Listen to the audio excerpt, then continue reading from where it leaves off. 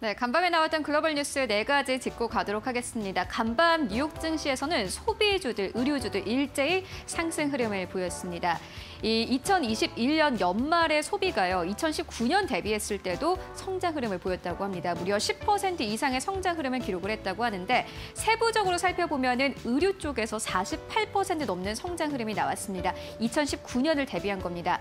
여기에 더불어서 전자제품도 마찬가지로 15% 이상의 성장 흐름을 기록했습니다. 관련주들 일제히 강세 흐름을 보였습니다. 또 특징적이었던 것은 온라인 판매가요. 2019년 대비해서도 61% 넘게 증가한 것으로 나타나면서 시장에선 전반적으로 기대감이 나왔습니다. 네, 이어서 두 번째 뉴스 만나보도록 하겠습니다. 디디 주식이 현재 뉴욕 증시에서 상장 폐지를 앞두고 있습니다. 이제 홍콩 증시로 이전 상장을 하게 되는데요. 이렇게 디디 주식의 상장 폐지를 앞두고 최근 미국과 중국 간의 갈등이 격화되고 있습니다. 이에 따라서 중국 기업들의 현재 주가 흐름이 굉장히 좋지 않은 상황이다라고 CNBC는 보도를 하기도 했습니다.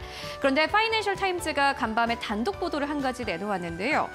현재 디디 주식 측에서 직원들의 주식 판매를 무기한 막고 있다라고 발표를 했습니다. 이에 따라서 디디 주식의 주가가 무려 3% 넘게 빠지면서 거래를 마감했는데요. 이에 대해서 CNBC 측에서는 장외 거래로 계속해서 거래가 될 수는 있겠지만 주가의 우려감은 그 어느 때보다도 커지고 있다라고 보도를 하기도 했습니다.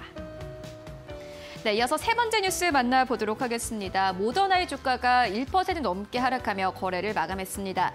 모더나의 일부 주주들이 저소득 국가에게 백신의 기술을 공개하라라고 요청을 했기 때문입니다. 여기에 더불어서 모더나 같은 경우에는 미국 정부로부터 보조금을 받았음에도 불구하고 백신의 가격이 높은 이유를 설명해야 한다라는 이야기가 나오고 있습니다. 메사추세츠주의 민주당 상원도 지속해서 모더나를 압박하고 있는 상황인데요. 간밤 증시에서는 백신주들 전반적으로 흐름이 좋지 않았습니다. 그리고 마지막 뉴스 만나보도록 하겠습니다. 파우치 소장이 잇따라서 긍정적인 발언들을 이어갔습니다. 미국에서 오미크론 확진자가 당분간 더 증가하겠지만은 결국에는 호전될 것이다라는 발언을 내놓았는데요. 잇따라서 CNN에 출연을 해서 코널9와 관련된 발언을 이어갔습니다.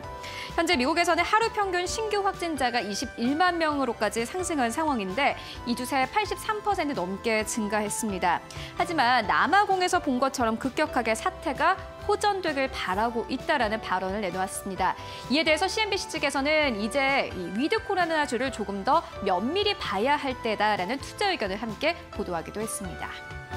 네, 지금까지 네 가지 뉴스 살펴보고 왔습니다.